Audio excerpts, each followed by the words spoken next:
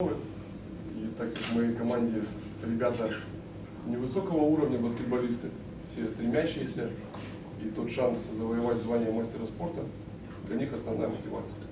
Поэтому я думаю, они будут грызть паркет и грызть соперника. В каком состоянии именно подошла ваша команда? Без травм все? Не принципиально. Дальше. У меня вопрос, э, Борис Ильич. Ск- Скажите, вот ваша команда выступает э, э, в лиге ВТБ.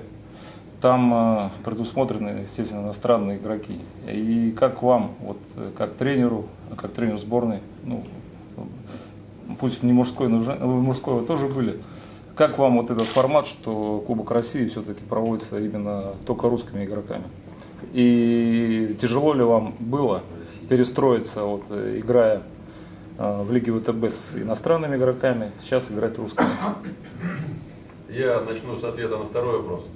Э, У нас в, последние, в последних играх присутствовал только один легионер, хороший, добротный игрок э, Каспар Берзич, и поэтому перестановки будут практически минимальными. Мы э, практически большую часть сезона проводим российскими игроками, ну если брать, конечно же, историю нашего сезона с, с Нового года.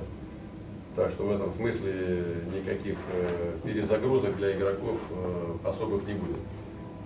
А что касается формата, я вообще, честно говоря, всегда э, позиционировал себя как тренера пророссийского, я всегда боролся с засилием э, лишнего количества э, иностранных специалистов, потому что они должны быть но в разумных пределах, так, чтобы создавался, создавался определенный баланс.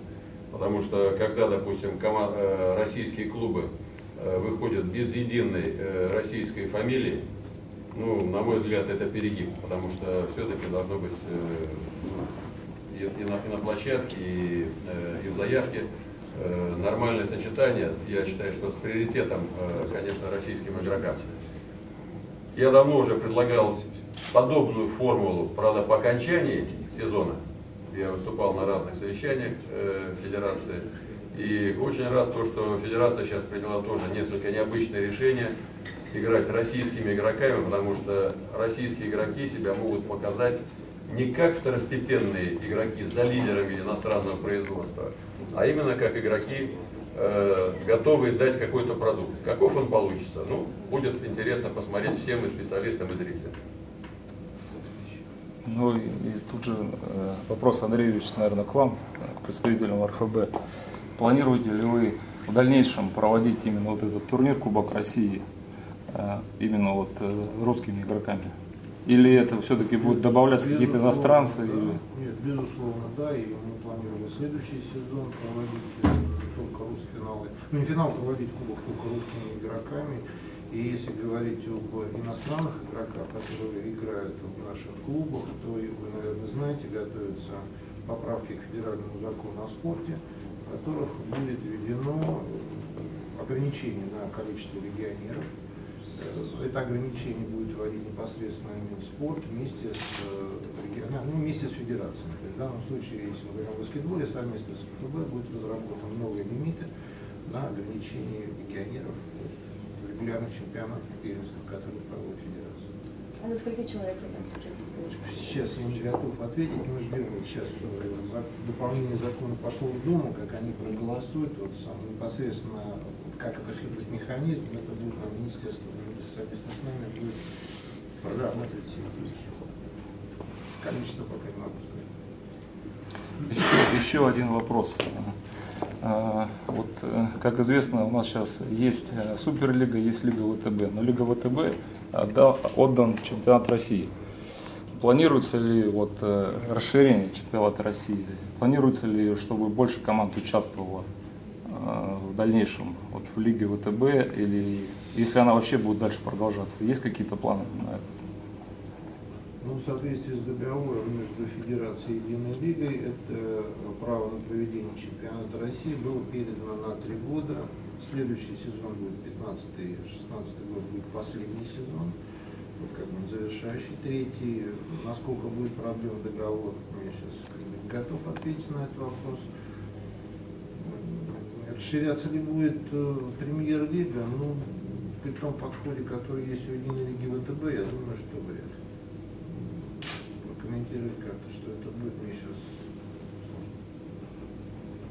Сергей Анатольевич, я добавлю с вашего разрешения, раз вы у нас ведущий пресс-конференции. Я просто хочу, чтобы э, тоже, э, знаете как, допустим, э, лишить права участия э, ну, в чемпионатах, э, в, э, в кубках иностранных э, игроков, конечно же, можно. Но надо понимать, что это, вернее, стремление э, к созданию того баланса разумного, о котором я говорил, оно должно проходить с большой ответственностью нас, россиян. Потому что нам нужно, конечно же, мы в селекции уже отстали от волейбола. Посмотрите, какие э, средние параметры, допустим, ростовые идут э, в российском волейболе. Мы должны э, очень заняться серьезной, индивидуальной подготовкой игрока во всех, э, во всех направлениях. И физического развития, и технического уровня, и тактического мышления.